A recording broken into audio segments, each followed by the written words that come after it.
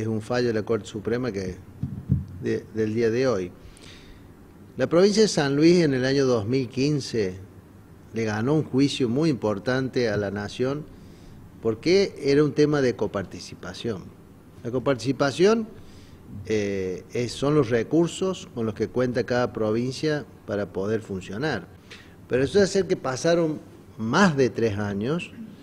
y el gobierno del presidente Macri por todos los medios intentó no cumplir con el fallo de la Corte.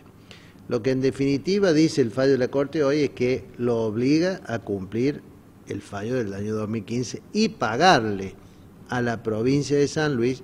15 mil millones de pesos y eso lo va a tener que hacer en un plazo muy corto. Así que estamos esperando, porque como te he dicho hoy,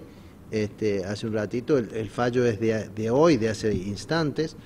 estamos esperando bien este, el informe completo que nos va a hacer el fiscal de Estado,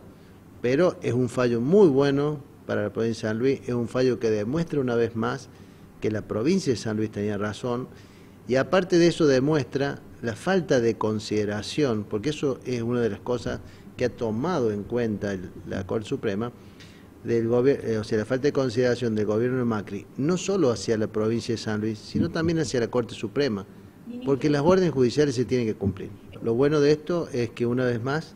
ha demostrado la provincia de San Luis que por tener una posición,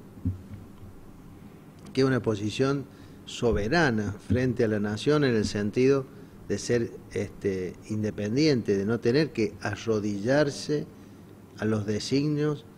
de ni este ni de otros gobiernos nacionales, porque eh, hay que recordarle a la población que nosotros iniciamos este juicio en el año 2008.